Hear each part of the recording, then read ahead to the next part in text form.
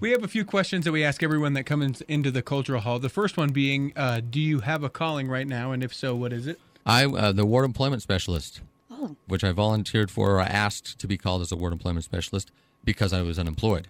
I figured, um, You figure if there's a way yeah, to get I'm, you like, a I'm like, job, yeah, let's, let's get me really close to this, and and so Yeah. you know, I ended up showing, I ended up showing a lot of people how to, you know, you know, get on there, get on the uh, church's website, and use LinkedIn and so on and so forth, and but I'm still looking for a job myself, so. Okay. Uh, wh- if, what kind of job? Maybe we can help you out. Oh, I'm uh, I'm an engineer. I have a BS in mechanical engineering from ASU, 2000 in 2001.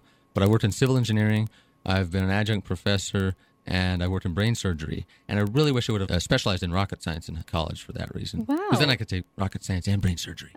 So So if you maybe have an offer for uh, for Joe Andersen, you can go to the contact us tab at uh, theculturalhall.com and get in touch with us there. So uh, though you asked to be the ward employment specialist, let me ask you this: If you could request any calling within the church, what would you what would you do? You can be anything. teaching a Sunday school for the, you know, 14, 15 year olds, and um, or uh, I like teaching elders quorum too, because I'm not a typical teacher. I love asking questions that aren't. I, I, I have to remind people, guys, I'm not asking this because I have an answer or because I want, want the Sunday school answer. Yeah. know, What about so- these things? And I'll, I'll quote Charles Darwin and stuff like that, uh, uh, but never, but to always bring up a, a, a different point. than- Right. but I like bringing up the surprising stuff. So Okay. Uh, and then we ask people to uh, to climb up on the Rameumptom is what we call it when to give an opportunity to tell people where they can find you. I know we can find the book in Deseret Book and on Amazon.com. Uh, do you have a like a Facebook page that people can follow you or Twitter or any of those things? you can write to me at possibly joe at gmail.com or possibly publishing at gmail.com. Uh, my, my blog site is uh, howcanyoupossibly.com.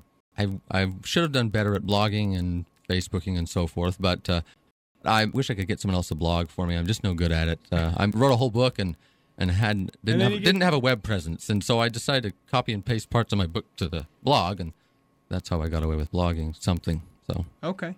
And then uh, finally, the there's a Facebook page called How Can You Possibly as well. Oh, great. and people can just go there and like it. How can you possibly? Yeah, so I go to Amazon and like, more, how can he possibly be a Mormon and a Democrat as well?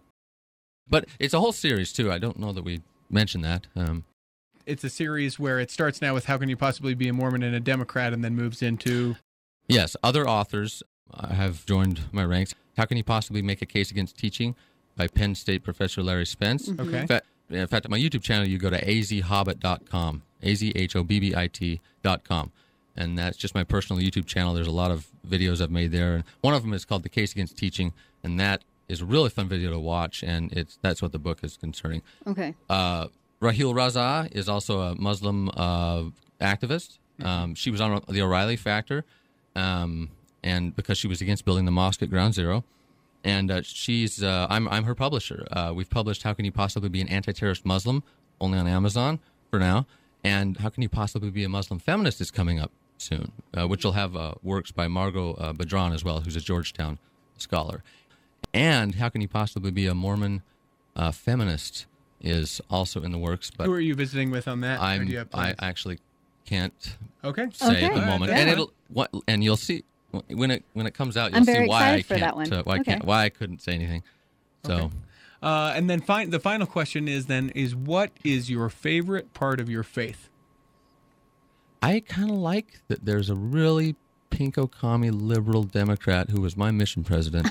I ha- I get comfort actually knowing that the gospel is broader than uh, than politics. I like that. Um, oh, and I was put in contact with a communist uh, from uh, you know Italy recently um, uh, by Alan Moberly. He's a, a great guy. Uh, he, at first, when he heard me say I was a I was a he, I was at the fair conference, and he told me that he heard me say I was a conservative uh, Republican. He saw my book and he just walked off right then. well, later on on on a uh, on a Facebook group uh, of Mormon Democrats, he he sent me an email and said, you know, I I, I shouldn't have judged you there. So um, anyway, he he put me in contact with a, uh, uh, I think what was basically a communist. And he's LDS. Oh, yeah. He's out in Oh, yeah, Italy. yeah. He's yeah, LDS. very- Interesting. So um, she is she She, she. okay. Uh, so I thought, uh, but she speaks Italian, so I have to we have to figure out a way to communicate better. But Yeah. but I, I just love how the gospel is that broad. It's okay. It really, I mean, communism. How can you be a communist? Well, what's going on here? So Yeah. But uh, no, I'm sorry. It, the gospel is is broad enough to to have us all in there. So Cool. The name of the book uh, that you can get right now is How Can You Possibly Be a Mormon and a Democrat? Look for other How Can You Possibly uh, titles at howcanyoupossibly.com.